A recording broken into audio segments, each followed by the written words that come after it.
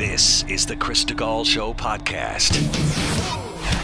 Okay, guys, let's just rip. And Chris Stigall. Chris Stigall. Chris, thanks for being with me tonight. Chris uh, Stegall. I'm joined now by Chris Stegall. Now, he puts the broad in broadband. It's Chris Stigall.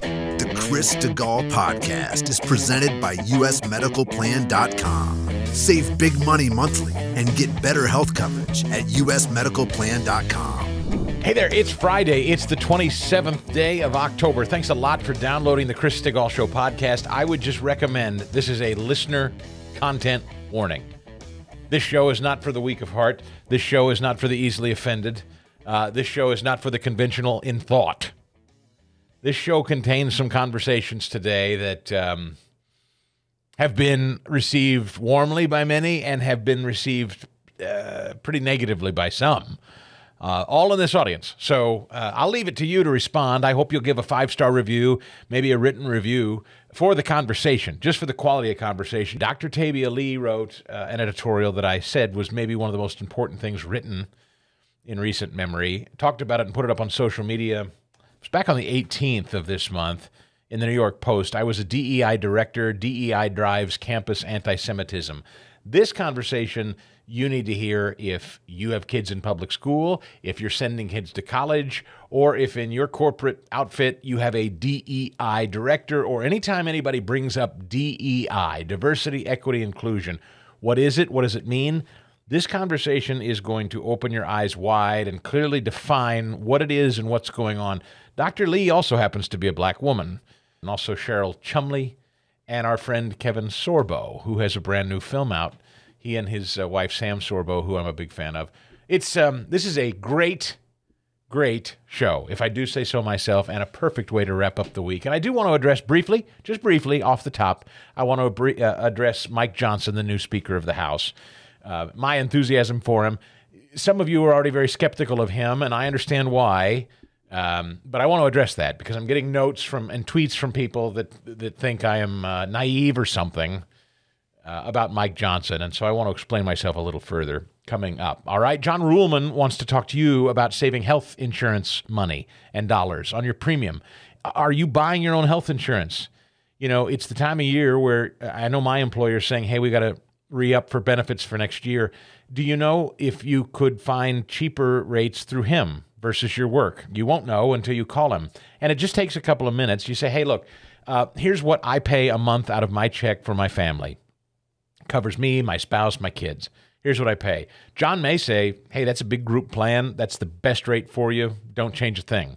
Or John may say, you know what? Save the money. Um, don't get health insurance through work and buy a plan through me. It'll cover everything you currently have covered, probably more, probably better, and I can save you 30 to 60%. That may be his answer. Uh, it could be one or the other.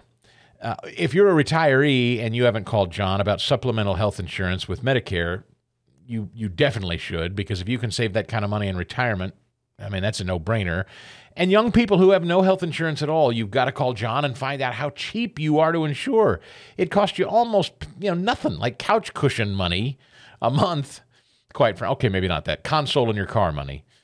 It costs nothing really for a young younger person to insure himself or herself and if you need it, heaven forbid, if you're in an accident or something and you can't work, there are insurance policies that pay you. And small business folks, if you provide your own health insurance benefits for uh, employees, please call John and see if he can help your bottom line. Uh, he's a great guy. My conversation with him at chrisstigall.com, check it out. Or usmedicalplan.com for more, usmedicalplan.com, or call 877 410 4321. I'm starting to get these people because because I said it is refreshing to see a devout Christian, an unapologetic Christian, take a leadership role. It is refreshing to see that after three weeks of fighting, is there any debate? Can can it be debated, Fast Eddie, that Mike Johnson is more conservative than Kevin McCarthy? Can it be debated? No, absolutely not. It cannot. It's it's not debatable. Now, apparently, yesterday, at some point while he's walking through some sort of press scrum, he was asked about Ukraine funding. And walking in a hurry with a bunch of press surrounding him, he's just been made Speaker of the House. They say, What about Ukraine? You got to fund Ukraine? And he said something like, Of course, but with conditions. This has some of your heads on fire. Well, there he goes. I'm a traitor. You see, there they did now. He's at that no different than anybody else. Look, I understand your pessimism. I understand your mistrust of the GOP. I did not. I didn't yesterday, and I'm not today promising you, guaranteeing you, assuring you that Mike Johnson's not going to disappoint you and me. Did I? Did I say that, Fast Eddie? Oh, of course not. I yeah. did not. I, I, did not predict that Mike Johnson was going to be the next Ronald Reagan. I didn't predict anything about Mike Johnson, did I? No, what do we have? A, a four seat majority or something like that in one branch of the government? Like, come on. Yeah. Yeah. I just, I want to be very clear on this point. Did I say anything about tomorrow and going forward as it relates to Mike Johnson yesterday? No, you did not. No, I didn't. And I'm not now. What I said and what I've been saying is we held out, we hung tough, we fought, and we got a more conservative speaker than Kevin McCarthy by a lot, I would say. And I judge his words, his actions, his votes to date. To date. And there is nothing in his resume to date that gives me anything to pause about. Nothing. I cheer Mike Johnson to date.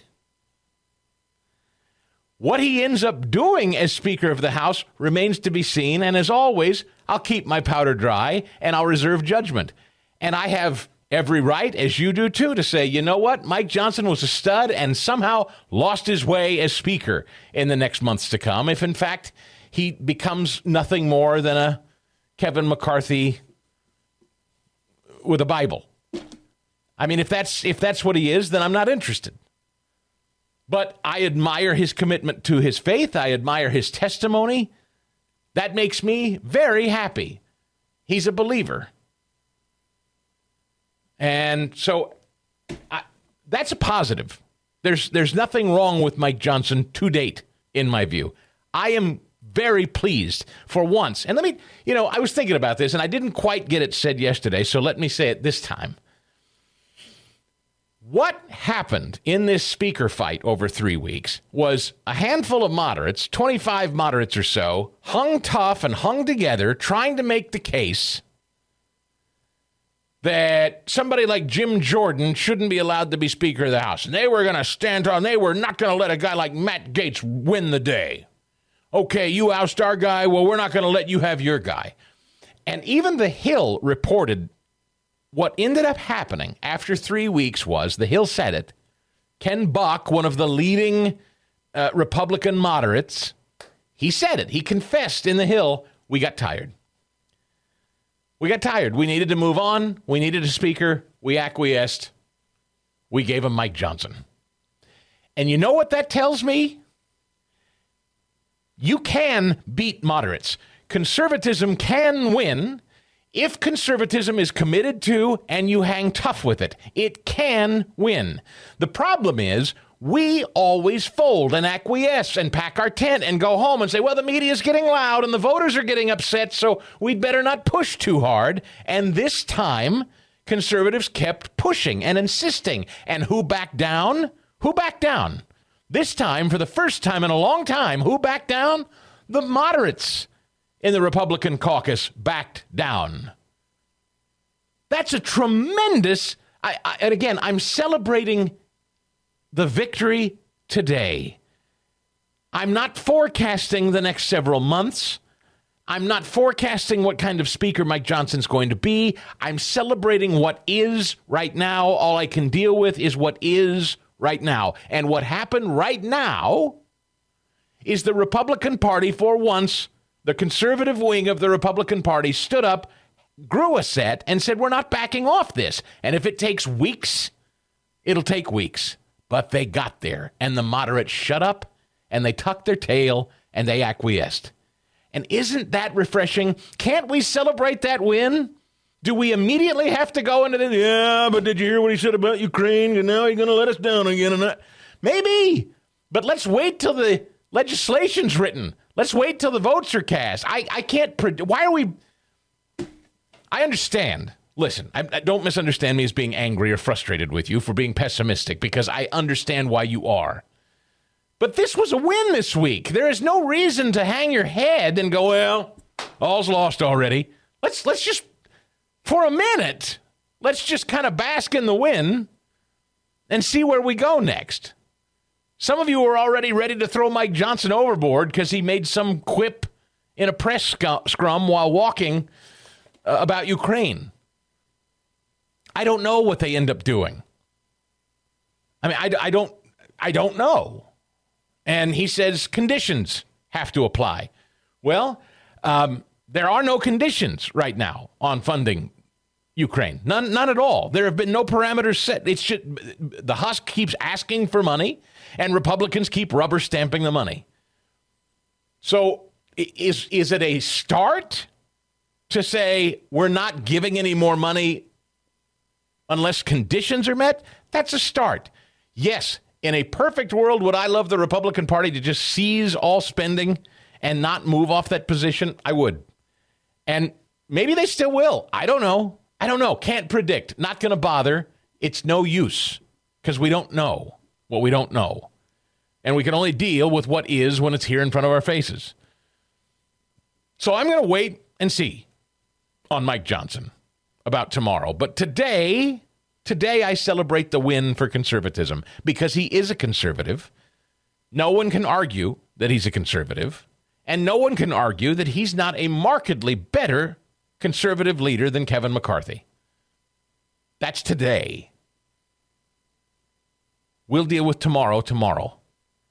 Okay, it's time to start thinking about your financial future. Never too early. Here we are in early 2023. What are your goals? Have you visited your financial situation with a pro that knows what they're doing, making plans for your future yet? Well, if you haven't, may I recommend Jason Perrett to you. Jason is a financial advisor at Eagle Wealth Planning, and he wanted me to talk with you in this audience. He values this audience. He's a listener of this podcast, and he said, I want to reach your audience. I want to help them plan their financial future, providing financial services to people who want to truly achieve financial independence. And he doesn't care where you are. If you are a uh, accomplished entrepreneur, if you're a, a professional, a retiree, even if you're a young person and you just want to start the lifelong goal of financial independence and you don't quite know where to get started, Jason can do that for you. He's a fiduciary. He's dedicated to providing clients with complete wealth management and investment services, along with highly personalized professional assistance. Jason will regularly revisit your plan, and that's one of the key things about this business is regularly checking in and assessing where things are, making sure you're on track, assessing assessing your risk tolerance, strategies to provide you the high level of service that you would expect from someone in this position. And you can call him anytime you'd like. 816 394 8117. He's extremely available and accessible at all times. 816 394 8117. That's Jason Perrett, financial advisor at Eagle Wealth Planning, 1717 Paddock Drive in Kearney, Missouri. It doesn't matter where you live in the country. If you're listening to my voice and you need some help with financial planning, you want somebody that you know uh, you're going to be on board with, you know, because you listen to this show, Jason's your man. All right. So it's Jason at eaglewealthplanning.com. His website is linked on mine at chrisstigall.com if you'd like to go there and link up. Securities advisory services offered through Cetera Advisors LLC, member FINRA SIPC, a broker dealer, and a registered investment advisor. Cetera is under separate ownership from any other named entity. There have been some listeners to this podcast for a while that uh, are are great supporters and uh, friends, and now they've decided to jump in and become sponsors. I'm proud to have them aboard. Uh, they're guys that operate a website called GulagAmerica.com. They try to have a little fun and a little irreverence with the very real state of affairs we find ourselves in these days. In fact, regularly when I post something on social media, you'll see them come in and they'll say something like, That's Gulag America. Well, that's a brand name. That's actually what they've been trying to frame so much of what we're living through, what they call Gulag America. They've been great supporters of the Harum Society as well, founders, as a matter of fact. I'm so pleased and proud to have them as sponsors. GulagAmerica.com. Go to their website, your online home for what they call apparel with attitude. I think you're going to dig it. If you're unhappy with the direction the country is headed, I think that speaks for itself for most of this audience. If you're dismayed that three quarters of Democrats and half of Republicans want the government to restrict hate speech, potentially meaning shows like this one, podcasts like this one, um, that's Gulag America. Go to gulagamerica.com. They're the shop for you. They have everything from American classics like Gadsden flag shirts that say Don't Tread on Me to original designs ripped from the headlines, like the recent edition that reads Mask me once, shame on you. Mask me twice, shame on me. Pretty good. That and so many more. Great shirts, great apparel. GulagAmerica.com. Great supporters of this show, great American patriots and friends and founding members of the Harum Society. Honored to have them aboard. GulagAmerica.com. As they say, Gulag America, it's not our wish, it's our warning. GulagAmerica.com. Welcome aboard, fellas. It's a pleasure to welcome back to the show the one and only Kevin Sorbo. Mr. Sorbo, it's a pleasure. Welcome back. Good to be back. Good to see you guys. Congratulations on the brand new film, Miracle in East Texas. Yep. Uh, this, this look. I just watched the trailer before we started talking. This looks fantastic. I can't wait to see it. It's a very fun movie. It's a true story, uh, set in 1930, right in the middle of the uh, America's Depression at that time. And um, these two con guys, played by myself and John Ratzenberger, would go through Oklahoma and Texas, and they would uh, con widows out of their money on on fake oil wells. They would sell 500% of the shares five times more than anything's worth. And then they would declare dry hell, move on to the next town. They get to Kilgore, Texas. They strike oil, but totally by accident. Of course, they get arrested. And um, it's just, uh, it's a wonderful true story uh, written by John, um, I mean, sorry, by Dan Gordon. Dan Gordon's the Oscar nominated writer. He wrote The Hurricane for Denzel Washington, Wyatt Earp, Kevin Costner. Uh, just a great writer. And this movie's won 10 film festivals, everything from best family movie to best comedy uh, best faith movie, best judges favorite, audience favorite. They can't really pigeonhole it, but one thing they can all say is that it's a PG rated movie and kids uh, and families of all ages can see it. And it's just a wonderful, non woke, non you know divisive non hating it's just a fun movie with a lot of good humor involved in it well but it's a movie that's got redemption in there and laughter things and hope things that are missing in america right now for sure and John Ratzenberger, I, have never interviewed him myself, but I, I, think these are projects he gravitates toward as well. If I understand him personally a little bit, oh, yeah. projects he wants to associate with. No question. He and I did a movie together back in 2010 called What If. Now I've done over 80 movies. What If is still in my top three favorite movies and best movies I've ever been part of. And uh, it's the same writers did a movie I did called God's Not Dead. God's Not Dead was a massive hit, but uh, the reality is What If's a better movie. But we got to fight in the independent world just to get people to see the movie. We need word of mouth. We don't have a hundred million dollar advertising budget like Hollywood does for, you know, avatars and Thors and Spider Mans and stuff. You know, where they can put commercials in every football game and every sitcom. We got to fight for, uh, you know, people's voices to get these movies out there. So we got two days. October 29th and 30th, this weekend coming up. Go to sorbostudios.com, sorbostudios.com. Sign up right now. You get uh, put your zip code in, shows you what theaters are near you, and hopefully you'll uh, help fill up these theaters. Tell tell everybody you know to go see this movie. It's a great family movie. If if for some reason after these two dates uh, pass by, will there be opportunity to see it in addition to the theaters? If it does well, if it does well in theaters, we'll get more days, and that just makes our you know increases our value to put it on uh, the streaming services. So. Um, the more that we get uh, days in theaters, the better chance we got to get a good streaming service to make sure everybody can still see it. You know what? It, and again, because it's a true story, it's not totally analogous, but it kind of uh, seeing some of the clips and seeing you in the pulpit, um, it, it kind of reminded me a bit of uh, th- that Hanks movie a few years ago called Lady Killers. Was that a Coen Brothers film? Oh, kind yeah. A, I, I, remember, I remember I, I, think it might be a Coen Brothers movie.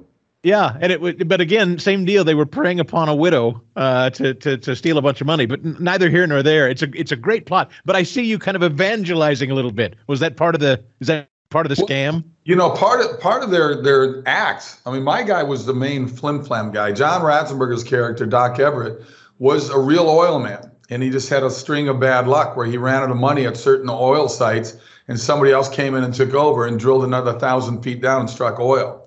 Um, his name was D.H. Everett, and they used to say D.H. stood for dry hole. So um, it was uh, it, it, my character would woo widows with Bible verses and uh, Shakespeare soliloquies. So uh, he was a bit of a charmer with the ladies. And uh, like I said, it's a true story. So he goes to a, a church to try to raise more money and to woo over this black Baptist crowd there in uh, East Texas. And uh, it's just, it's just, it was fun. It's a wonderful script. It was just a fun script. Dan Gordon is a brilliant writer. Oh, it looks it's it, to see you do the big flamboyant preacher bit in the pulpit was very funny. That must have been fun to play.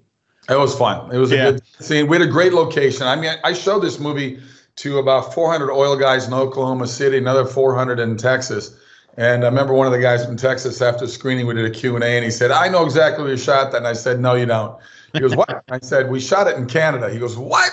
so um, I said, it's called show business, not show show. You get a bigger tax credit. You go to Canada, you get 30% tax credit. You get 25% more on your dollar because the U.S. dollar is stronger. And we shot the same ranch, the 3,000 acre ranch outside of Calgary that Clint Eastwood used in Unforgiven. If it's good enough for Clint Eastwood, it's good enough for Kevin Sorbo. That's there you go. Uh, your wife Sam Sorbo is also in this film. Yep. I don't know how often you work with her. Uh, or have in the past, but that's always fun, I'm sure. Assuming you guys like working together. Not every spouse likes working with their spouse. I get it. We, uh, no, we have a good fights, but uh, we, um, you know, we met on the set of Hercules. I lived in the Hercules seven years filming that series, which uh, by season three, the sin of pride, but I got to say it became the most watched TV show in the world in 176 countries. And uh, we met at the end of season four on that series. And we've done, my gosh, I think we've been in about six or seven movies together. We had one most recently that was in theaters uh, January and February this year called Left Behind Rise of the Antichrist, based on the Left Behind books from Jerry Jenkins and Tim LaHaye. You, in fact, in talking with her not too terribly long ago about her own podcast and this film coming up, she mentioned that you, as a family, all had traveled to Israel as, and taken a, a group of folks with you. Uh, I don't know if that actually happened or not. Did it? And that was obviously prior to this massive conflict we see now. Um, what what did you take from that trip? I've never taken it well, myself. We've been there. We've been there five. I've been there five times now. Sam's been there four times. Um, we take a group of 80 people every year. Obviously, COVID shut it down for a couple of years, um, but uh, the, I take the family with us. Sam and I host it. Uh, we were just there in May of this year. Um, that pretty scary because they, you know, I read they've been planning this attack for up to two years now, and uh, we. Um, I've shot two documentaries there. I have one coming out uh, later next year that I shot in Israel three weeks on my own. Sam came along just with me on that trip and the production company out of Houston, Texas. And uh, you know, it's an amazing, it's an amazing trip. It's incredibly sad what's going on there right now. Obviously, uh, you know, they're surrounded by all these countries that want to wipe Israel off the face of the map. And uh, every time I've been there, I've never felt threatened. I've never felt in danger, but I would feel that way now, of course. Mm-hmm. And uh, it's too bad because we already had about 30 people signed up for next year's trip next May, but that doesn't look like it's going to happen now, which which is unfortunate. Sam has been a passionate advocate for this, but um, both of you, I know as parents, have valued uh, homeschooling as the option for your kids. Can, can you speak to that? I know you've said that's kind of Sam's lane, but but why you as a dad uh, value that your children have been homeschooled? Well, I see how look our, our, our homeschooling. I mean, our public schools are horrible. I mean, we're one of the worst in the world. I think we rank around 30th in the world in public education. Uh, you know, anything run by the government doesn't work very well anyway. I mean, I'm reminded of Ronald Reagan's favorite quote when he said, These are the words to fear. Hi, I'm from the government and I'm here to help. And uh, we know that those are, those are words to live by. And um, everything the government does run, they just destroy it. And public schools are crazy. They just passed a law, was in Oregon or something, that uh, they can graduate kids now, 18 year olds, even if they can't read or write. I'm going, what? I mean, it's incredible. So we we joke. I had friends in Minnesota where I grew up that were homeschooling back in the '80s, and that was like a rare thing. But um, we jumped on board right away. I think the, my oldest now is 22. After second grade in public schools, him, we just moved all three kids in the in the homeschooling. And I think one of the blessings of COVID is that uh, two million more families are now homeschooling. They they yes. kind of woke up and looked at public schools and saying you know, look what they're doing. Look what the school boards are doing. Look at the books they're putting kids in. Look at the books they're getting rid of, and look at the subject matter they're dealing with. I never deal with that when I when I was in public schools. if you're a math teacher, you taught math. If you're an economics teacher, you taught economics. History, you taught history. They're not doing that anymore. They're pushing this weird agenda on these kids that's just strange. It's a total brainwashing thing, and it's just it's got to end. When Bill Maher comes out last week and says we need to tell parents not to send their kids to universities, you, know that people are waking up on the left to realize how horrible it is out there for kids. So it is. Uh, people go to sorbostudios.com, not only from Miracle Texas, you'll get more of my stuff on that website and also a lot of Sam stuff on that website as well. Yeah, she's she's been a great friend of the show. Um, and in terms of your community, that being kind of uh, the entertainment community, the Hollywood community, is is education a point of discussion? I mean, a lot of people who are of means, I know, hire what private tutors for their kids and often travel with their kids. Sure. Um, it, it's actually as a concept, homeschooling is actually not that foreign to people in well, entertainment with means, is it? We always did homeschooling before before you know public schools started happening. I mean, Abe Lincoln was a public school, a private, a homeschooled kid. You know, yeah. uh, when the government took over, that's when it got worse. I think the '60s is when it really started to go downhill. Uh, they took the Bible out of the classroom, and they then they um, from the Welfare Reform Act to Vietnam War to the hippie thing to the rock and roll. And I like rock and roll, don't get me wrong. But I think all these things combined, I think sort of led to, uh, in Hollywood. I mean, Andrew Breitbart said it best, you know, rest in peace, great friend of ours, uh, said politics runs downstream from culture. Who runs the culture? Well, Hollywood does, and so does mainstream media. So this constant brainwashing the kids over and over and over again. Um, you know, we look at murder, which I call, which I replaced from the word abortion as a common thing to do. These same people on the left want to save a sea turtle egg or save a tree. They'll chain themselves to trees, but to kill a baby is no big deal to them. And so um, it's it's really amazing how callous and how uh, really just sort of stigmatized the world has become and just being so apathetic toward the, the human life. Is uh, the entertainment industry becoming warmer to you and people like you who share your values, or is it still a tremendous host- hostility? I, I, would think they'd be waking up culturally to seeing the success of films like yours, or no? You would you would hope so. I mean, in the last 10, 12 years, there have been a lot of great family movies out there that uh, have done quite well. Hollywood has this agenda. It's weird. I did a movie called Let There Be Light that I directed, that Sam wrote along with Dan Gordon, who wrote Miracle in Texas. And that movie opened number two per screen average against Thor Ragnarok. So a $300 million movie up against a $3 million movie. I get a call from Netflix saying, We want to talk to you. The Monday after opening weekend, we want to open an inspirational division with you. So I had like four meetings with them over three months. And ultimately, nothing happened. And my last meeting with them, I said, It's amazing to me that this, this birth of ideology that you have, this hatred and anger towards anybody who's conservative or or anybody who's a Christian, um, you guys will just do anything to attack that. And you don't want to. You guys are the ones who called me. I didn't call them. And ultimately, they never did this inspirational division of Netflix, which is weird to me. And I could tell in that office there was half those people agreed with what I was saying, but they're too afraid to speak up. The left is so powerful with its message, so filled with its anger and hate, and the media that for decades have been beating into kids through public schools and universities. People are afraid to speak the truth anymore wake up. I mean, I got blacklisted from Hollywood. I'm a cancel culture victim from a dozen years ago before cancel culture became a term. I think I'm the grandfather of it now because it started with me in terms of Hollywood saying we can't work with anymore. Because God forbid we have truth in, in, in our movies, in our industry. Uh, truth is like kryptonite to the people on the left. I mean, they'd rather live in their lies than live in their hate and their anger. So uh, I'm going to fight back with doing movies that Hollywood used to do. And that's what I'm going to keep on doing because I enjoy doing movies that have hope in them, that have freedom in them, that have character development, that aren't just filled with 75% visual effects. Because look, I like a Spider-Man movie too, but you leave the theater going, yeah, I didn't really care about anybody in the movie, but it was kind of a cool roller coaster, right? I mean, it's all visual effects. I like doing movies that Hollywood used to do, movies that Clint Eastwood is still doing. You know, yes. movies that have real stories and real character development behind them. Do you think, uh, uh, as I watch, you know, like Turner Classic movies, you see a Mr. Smith Goes to Washington sure. or something like that? I, I, don't know. Maybe you can't or wouldn't feel comfortable speaking for a Jimmy Stewart today. But do you think that was an era of Hollywood that was more in line with traditional values, or they weren't thinking about it? They were. Hollywood is pretty conservative. You look at the Warner brothers that formed Warner Studios, they were Jewish and they were full on conservatives. Hollywood was mostly conservative back in the day, just like the black population was. I mean, they were the popular, they were the they were the followers of Abe Lincoln. Abe Lincoln was the first Republican uh, Party president that got elected. So um, things, like I said, once again, things changed in the 60s. Martin Luther King was conservative. But when they passed the Welfare Reform Act back in 1964 in the LBJ, they told uh, women in the black culture, look, if you have babies and there's no man in the house, we'll help take care of you. Well, now it's become something they just do. They'll they'll have they'll have six babies from six different guys by the time they're 30 years old just to collect an extra paycheck. I mean, it's it's a weird way to make a living. It's kind of sad in that way. But the black population prior to that Welfare Reform Act had a much lower divorce rate than the white population did, and now that's just totally switched around. Yeah.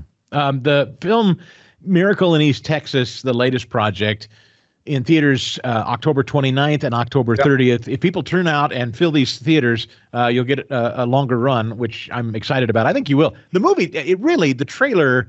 I, I know you can't judge anything by its cover, but this trailer just looks fun. It really looks like an entertaining film. I can't wait. It, it's a blast. And people go to sorbostudios.com. They can click on the link from Miracle East Texas, look at the trailer, has information there about what theaters near you. So uh, I hope people jump on board and support this movie. It's a fun PG rated movie. You can take your kids to it. Kevin Sorbo, if people want anything to do with any of your projects, past uh, or otherwise, they can go to sorbostudios.com and most everything of yours is there, right? Everything's up there. Sign up. We keep you up to date. I got four of the movies in post production. I'm about to start a Christmas movie here pretty soon in Texas. And um, I've got two documentaries coming out. I've been doing a lot of documentaries over the last seven years, and these are wow. wonderful, uh, wonderful true story documentaries. Man, a rolling rock gathers no moss. You don't stop, man. That's impressive. Uh, it's been busy. Kevin Sorbo, my best to your wife, Sam. Thanks a lot for your time today. It really is. The jingle is true. For the best night's sleep in the whole wide world, visit mypillow.com. I am. I'm sleeping like a baby. I can't lie about it. I mean, I have this My Pillow body pillow I use every single night. Tuck it under the blankets, lay next to me. I know, not very romantic on Valentine's Day, but um, most of us that have been married and uh, you're sleeping nightly, after a while, you know, people sleep hot. I don't know about you. I just, I get hot. I need space. but my pillow what's so great about my pillow and their new my pillow 2.0 technology is it's exactly for people that sleep hot so uh, i get this side sleeping thing where i really i just can't sleep on my back or my stomach i like sleeping on the side maybe you do too this body pillow they make like it doesn't get hot, but it is so supportive. And it's like three feet long. So it's just perfect to lay your head on. You can tuck it in between your knees to take a little pressure off the lower back or the knees. I love it. Plus, I'm on these Giza Dream Sheets, which are crazy comfortable. We've got the uh, towels, which are super absorbent. We dry off with every morning, uh, thanks to mypillow.com. My dog Dean is on the My Pillow bed for the dog. Loves it. Uh, and that's just some of the products. I'm right now. I'm sipping my coffee. Mike has his own line of mm, coffee. I I got the light brew. Uh, I think next time I'm going to order the dark brew and try that. But all of these products and so many more, from the robes to the slippers, Christine loves her My Pillow slippers. You got to check it out. And if you go to mypillow.com and order today, you you use my promo code Chris Podcast, Chris Podcast that allows you to save up to 66% on everything on the website. And uh, it also lets them know that you listen to the podcast, which means a lot to me. Um, they're advertising with me in the hopes to reach you. I know you're going to love the products, but when you let them know Chris Podcast, it gets you the discount and lets them know you listen. So thanks for that. It's a three-legged stool. Hopefully everybody wins. So mypillow.com, promo code Chris, or for the best customer service, you should know everything you order. 60-day money-back guarantee a 10 year warranty, so they're really high quality products and made here in the United States. So 800 932 5056 to order in person, 800 932 5056 or mypillow.com, promo code Chris. We came across a fascinating column in the New York Post uh, a while back, and if you didn't see it, um, odds are you've probably heard about it by now. The headline read I was a DEI director DEI drives campus anti Semitism. It was authored by a, a, woman called Dr. Tabia Lee. And I, I was so intrigued by it that I, I said, well, we've got to we got to find her if she's willing to come on. And thankfully, she was willing to come on and joins us now. Uh, Dr. Lee, thank you so much for your time today. Thank you, Chris. Glad to be here. I was talking with you a little bit before the conversation started, and uh, I said, "Gosh, you, have probably had a lot of attention because of this editorial." Uh, I guess since I read the initial editorial, you've you've been published in a couple of other spots. Yes, um, actually, one of them was before the the editorial uh, with the Journal of Free Black Thought. Um, that was a piece that I wrote um, uh, called DEI Colleagues Your Anti Semitism is Showing, and It's Time for an Ideological Reckoning. Uh, and then I also just recently had a letter to the editor published in uh, the uh, Wall Street Journal, which is uh, outlining, you know, just a response uh, to one of the things that they had posted um, about campus anti-Semitism and wanting to inform people again of the critical social justice ideology roots of of all of these things. I'm um, thrilled to talk with you because I think you can give me and uh, the audience a lot of insight into this concept of DEI generally. Before we get into your story specifically, I wanted to just talk about diversity, equity, inclusion as a concept and your role as a, a director of that initiative when hired.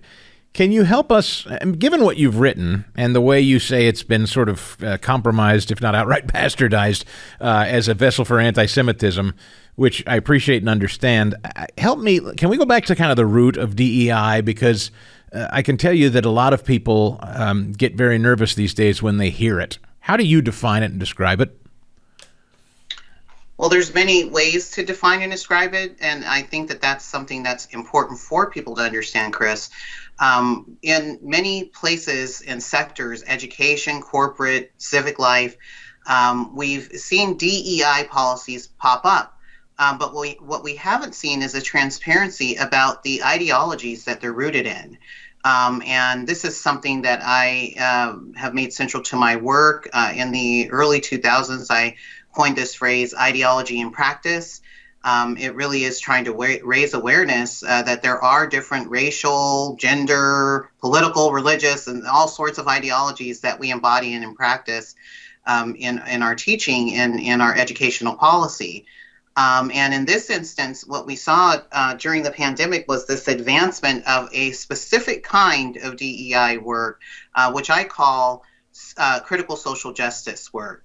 And I hadn't encountered this myself until I had my experience that you may have uh, heard of, you know, in reading the article briefly there um, at De Anza College. It's a California community college. Um, and when I was hired on there as a faculty director for the Office of Equity, Social Justice, and Multicultural Education, I came to discover very quickly um, that my understanding of those words was quite different than the people who were going to be making the decision around my tenure review process. Mm-hmm. Um, and that difference is what led them to target me and bully and intimidate me and harass me. And, and when I wouldn't resign, uh, they uh, subverted my tenure review process to uh, fire me. And that's exactly what took place after two years of a long, uh, prolonged battle uh, around that. And so, how were they different? Um, prior to that, I've been in education my whole life. I've been a teacher my my entire life. I always tell, I joke around with people that, you know, I've been teaching as long as I've uh, been learning because I was a gifted and talented student and used as a peer tutor. Uh, but of course, I got, you know, formal education and became a teacher and a teacher educator and taught in East LA public middle schools for many years and have done a ton of teacher trainings and, and so forth around, you know, topics of inclusion, diversity, and so forth. Um, and my understanding of equity was always the textbook definition of equity, which is fairness. Um, and that was what I had encountered at all the institutions that I had worked at prior to that. My, you know, public school experience. Um, after I got my doctorate, I the job search didn't go quite like I thought it would, so I did some adjunct or part-time teaching for for quite some time. And most of the institutions where I worked were private Catholic universities. Um, and they were using also a classical uh, definition of social justice uh, and understanding of equity as well. So I had always been in places in spaces where you know people were meaning the same things when we talked about things. Uh, but i never assume anything and, and i did over 60 hours of needs assessment conversations when i got to De Anza um, with faculty staff and all kinds of uh, um, um, faculty staff and administrators. And i wanted to see what their on the ground definitions were. And what i discovered was uh, from multiple people, you know, we're all saying these words like equity and so forth, but we all mean different things. Uh, there was no uh, institutional definition at that time, even though this is a, a an institution that uh, claims to have, you know, this long history of doing social justice work and so forth. No one had ever sat down and defined it together, so that's why there's a lot of fragmentation. Interesting. Um, so may I may I ask on that point then, Dr. Lee? Um, I I trust you came at this from a place of, of goodwill. You say the words mean what they mean to you. Words mean things, and they have a definition. Uh, so you came to the table in good faith and goodwill. I think a lot of us politically today uh, get the sense that DEI is used as a, as a tool to um, kind of foster a notion of certain types of people who look a certain way ought be elevated because certain other people who look a certain way are oppressive. Um, so I, I, think a lot of us get prickly now hearing DEI, assuming one group's going to have to be uh, marginalized if another is to be elevated. Is that a fair assessment of the way we look at it today versus the way you came into it? Um, so what you're describing is is more what I've named the critical social justice yes. uh, uh, perspective, um, and that's the name that I've applied to it because I think people need words to describe it when they're trying to talk about it with their, you know, educational leaders and so forth. Um, but that you're, you're exactly you've encapsulated uh, some of the core principles of a critical social justice approach. You know, viewing people as uh, victims or oppressors of uh, this hyper focus on race and gender identities um, and you know uh, this you'll hear this concept called intersectionality that they talk about uh, quite a bit. Um, and you know they try to put people on a power and privilege matrix and tell you that you know you were born into this particular position of uh, you know power uh, and privilege. And, and you can never escape that. And as a result you know you must do x or y you know to to remedy uh, the the sins of your ancestors if you will um, or, or, to help uplift those you know who were put down by your ancestors. So it's this it's this focus on um, viewing uh, everything through this lens of division mm-hmm. of, of race and, and gender and and really an anti-American sentiment as well embedded in it.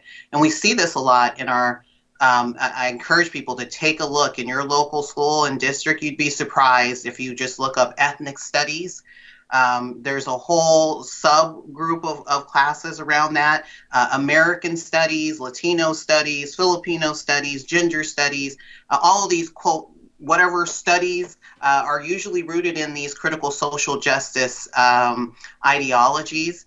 And if people took a look at the syllabi, I think they would be shocked. Uh, especially you hear American studies, right? You think that as as a former civic educator, I think, oh, this is great. You know, they're going to be learning about you know uh, America and um, you know why uh, we're we're uh, one of the you know models for the world in terms of you know our, our republic and democracy no that's not what they learn at all uh, they learn how to be anti-american um, they learn that uh, america is founded on white supremacy and racism and all of these other uh, concepts and constructs that as a parent or as a, even an educator you wouldn't anticipate that when you see the titles.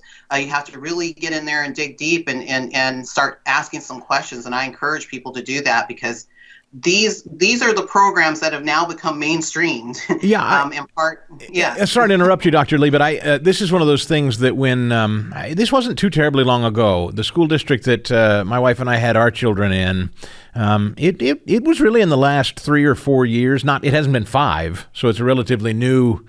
Um, position in, in our children's school district that we ultimately ended up leaving, and that was a DEI director, and it was a well paid position too. It's a six figure spot that was kind of created, and it was new to our district. Um, so I, I again, I'm kind of gently asking because I don't want to offend you. I, I, I, you had that title, but I, you certainly don't come at it in the way I view it today. So, should people, I guess my question is, should people be naturally suspicious now when a school district creates a DEI director? Uh, is should you instantly think, oh, oh, that means trouble in your view, or no? Well, what we've seen is an explosion, like you mentioned, uh, Chris, of these positions. Um, this has cropped up as a multi-billion-dollar industry, um, and a lot of people, you know, have their stake in it.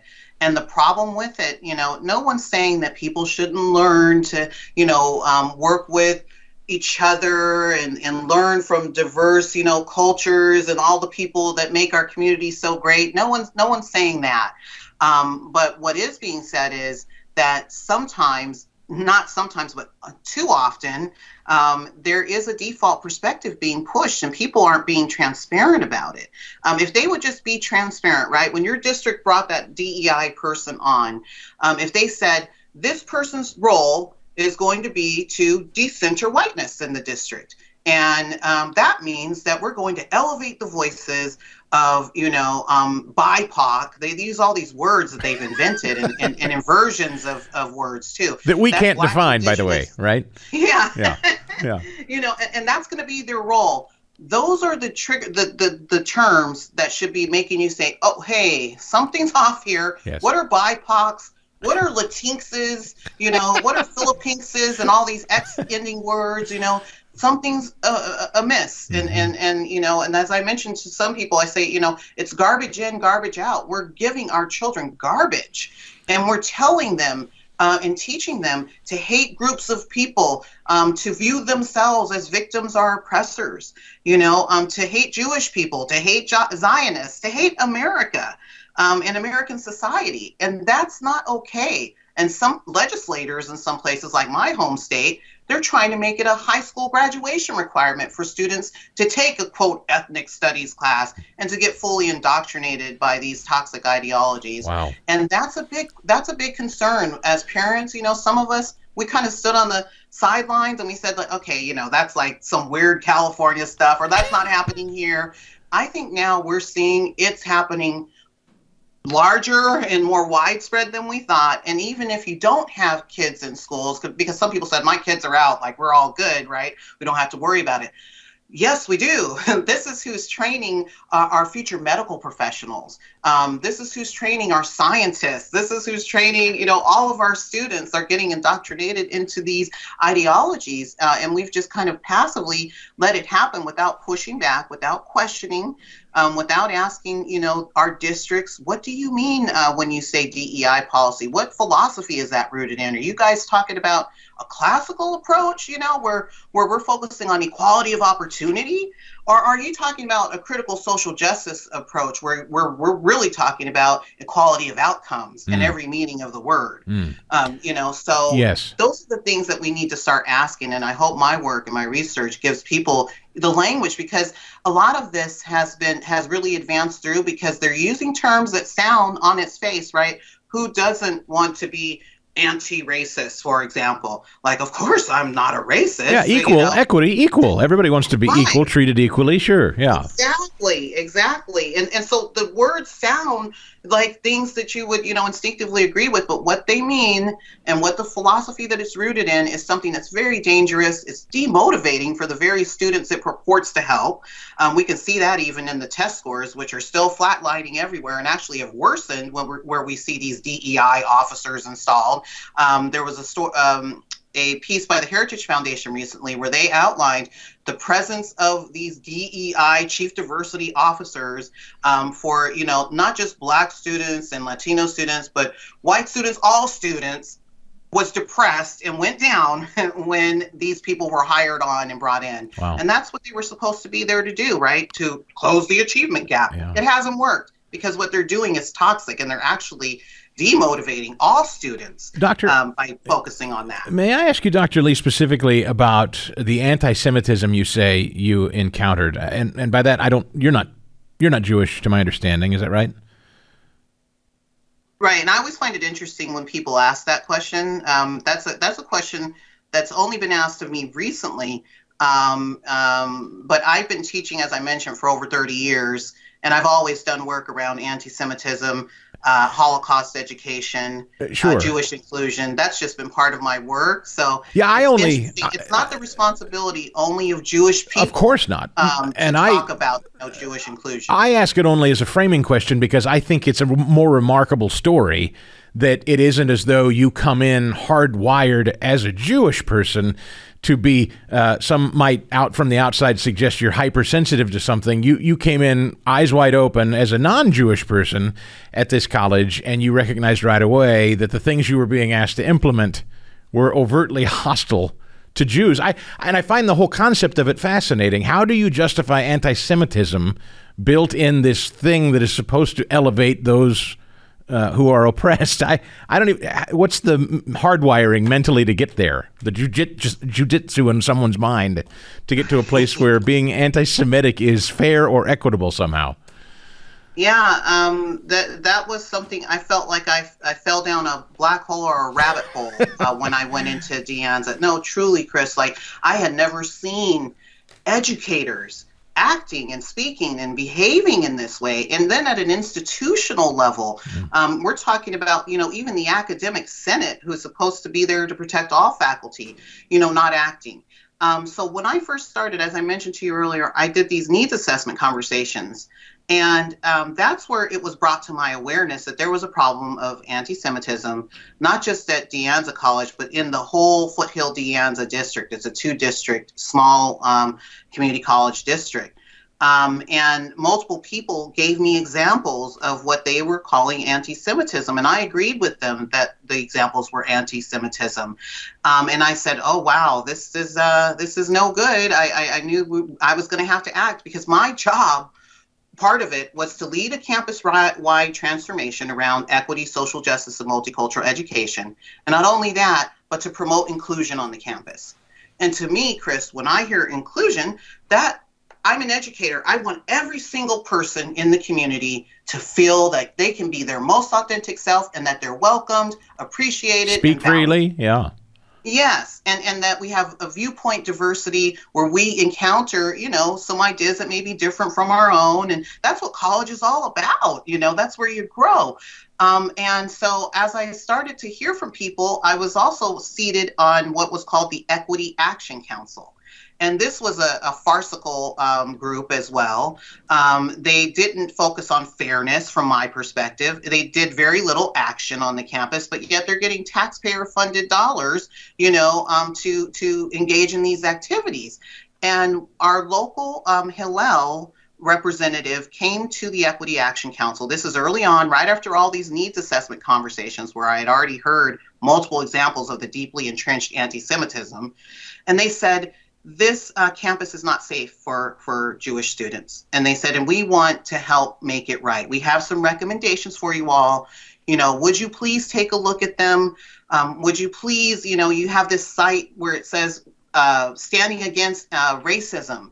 Would you please just put a little thing? You have a Black Lives Matter thing there. You have a, a Stop AAPI hate thing there. Just put a little thing that says, you know, we stand against anti-Semitism, so our Jewish students can feel a little safer. Um, and, and they asked us simple things like that. And as they were presenting, some of my staff members uh, were dropping into the chat uh, links to uh, the uh, Jewish Voices for Peace and Students for Justice for Palestine and all of these other organizations, which are known to be anti-Israel. They're known to be, you know, uh, anti-Jewish. um, and after that happened, we went back to our team meeting and, and I said, you know, hey, I was very offended that we had guests speaking to us at Equity Action Council. And you all felt fit to put these links that were antithetical to what they were saying. And their affect was flat. They made no apologies for it. They said, You were putting resources, so we can put resources too. Wow. And I said, But these were guests, and they were talking to us about important things. And I said, So what about the recommendations they gave us? And my supervising dean said, Well, you know, we've got recommendations from CAIR, uh, which is the Council on Islamic Relations, and um, we didn't ever do any of those either. So we're not going to do anything about them. Hmm. I said, we're not going to do anything. How, how could we just ignore the pain that, sh- that this woman shared, you know, when she came here and that she told us about how the students are hurting, um, how they were hurt by the uh, student government who, um, when they took a resolution, they wanted the student government to um, adopt the IHRA definition of anti Semitism. And instead, they were shouted down by their own peers. Hmm. And they were shouted down with chants of, From the rivers to the sea, Palestine will be free. I asked her, Do you know what that means? And she said, No, you tell me. I said, That means the obliteration of Israel. I said, that's not okay. That's not okay to have an environment where your peers are saying that to you as a student. Would you feel welcome? May I and ask said, you? Well, I'm sorry to interrupt on this story, but this is a great uh, part to interject and ask. Do these people n- know, truly understand it, or, or or is it just something they're parroting because they think it sounds good? Do they mean these things? I mean, should we understand that so many of these people, these councils, these committees, and the things they say, is it feel good stuff? Is it is it a grift uh, of some kind? Is Oh, it no, is it Yeah, no, sincerely no, held beliefs? Oh yes, these are real beliefs, and they mean what they say. They mean what they say. Um, because not only did did did the you know supervising dean end up saying you know uh, you weren't there, um, you know that that that didn't happen that way, um, and you know uh, all of these kind of things, but they refused to update their website to just put a a, sta- a simple statement saying, you know, we stand against anti-Semitism, not not defining it, not getting into IHRA and all of that. And there's debates, right? I Sure. understand that, um, but not even that. And I and I said, I said this is a performative act. I said we don't even have to do anything. All you have to do is just put a statement on the website. You don't have to do anything else. Why would you not do that? And they said because Jews are white oppressors, and we're decentering whiteness here Oh boy. and I that's when I knew I was I was like, what? How how could you say that? I said you you're you are not understanding the history. You, there's an ignorance here around you know the Jewish diaspora and the diversity of it. And so you know I knew that not only did the campus need education, but my own staff and my own supervising dean uh, needed education and accurate information. Um, they had been fully steeped in an ideology that was toxic towards Jewish people. And so our, our district uh, board of trustees around this same time, uh, they made a resolution saying that um, it was a very flat one. They didn't define anti-Semitism. They just said, we as a district stand against it. It was empty. Um, but I took that and I said, you know, that's our cue. That's our board of trustees. They direct us, even above me and you and the dean and everyone, right? So I'm going to go ahead and engage this community in some Jewish inclusion and anti Semitism education. And my dean did not support me in that. My staff did not support me in that. And I, I, I was a director, a quote unquote director, but I had no access to my budget, never saw my budget for the whole two years I was there. I don't know how that equity money was being spent, taxpayer dollars, public funds should be open to everybody. Um, and, and it's not just that place, um, Chris. This is happening on so many other campuses. You know, when. I was terminated, I heard from people across the nation um, who were telling me this is happening at my campus. This goes on here. You know, our DEI department is toxic. They're anti-Semitic. You know, they don't make any statements. And, and the recent events have even shown their faces more. The silence uh, from these universities and colleges Yeah, Dr. Lee, all of I? them who release these statements supporting Ukraine and this and that, they've been silent at the terrorism that's happened against Israel. And that, to me, that is showing us who they are and what they stand for. And it's time for all of us to say, you know, if that doesn't represent you and your values, pull the funding from your schools, uh, pull the funding if you're a philanthropist giving to a school in your, your alma mater, check out what they're doing. And if it doesn't align with your values, remove that funding. It shouldn't be there. And these programs shouldn't be there either if what they're doing is promoting hate and exclusion. exclusion. Dr. Lee, when I hear you say a dean said, Jew, you know, Israel, uh, white oppressors, um, as a white guy, uh, I'm I'm not Jewish, but I am white. That makes me wonder. I have to ask the question: Is the I had I had kind of um, theorized this. Is it all one and the same to people like these? That if you are white, be you Jewish or Christian or uh, agnostic, if you are white, you're inherently just an oppressive person just because you exist as white? Is that a broader context or no? Yes, well, not only that, let me tell you about this one, um, Chris. Early on, this was two weeks into my two year adventure here at, at, at that place. Um, I had a Google Doc uh, that I was using with, you know, my my staff because I was supposed to lead a strategic, you know, uh, transformation, and you have to plan and you know, um, and and take notes and so forth. And I, I was showing it to the team, and I was saying, you know, hey, I'm new here. You know, maybe you know we can collaborate together. I've set it so we can all edit. You know, we can uh, put in events and put in ideas together. And one of my staff members stopped me and they said, "Stop what you're doing right now." And I was like, "Whoa!" And they were angry. And they said, "What you're doing is you're white speaking and you're white splaining, and you're supporting white supremacy." Oh, And my. I was like, what? I, in my whole life as a black woman, I had never been called a white supremacist or told that I was supporting white supremacy. And the, and these people were serious. And I and I said to them, I said, you know, hey, I just got here. I haven't come in here name calling or saying any words to you that are offensive. I said, where I come from, I was raised in the Central Valley of California, a small town called Lodi. I said, I knew and encountered growing up actual white supremacists, KKK members, white national socialists. I said, for you to call me a white supremacist is deeply offensive. Wow. I said, please don't call me, you know, any names again. You know, so let's just be professional together. And it was as though I had offended that person, and everyone began to behave as though I was the offensive one for saying that. Doctor, and that was early.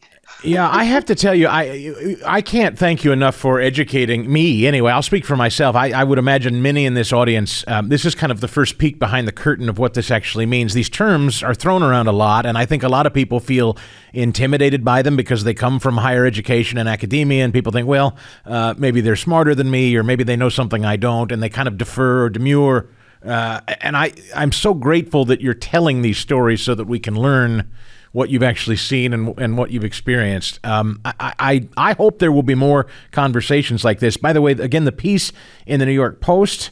Um, dated on the 18th of October was I was a DEI director. DEI drives campus anti-Semitism. Also in the Wall Street Journal and a publication called Free Black Thought. Is that right? Yes, sir. Dr. Lee, thank you so much for your time today. It's invaluable. Thank you. Happy to come on again. The Chris Stigall Show podcast.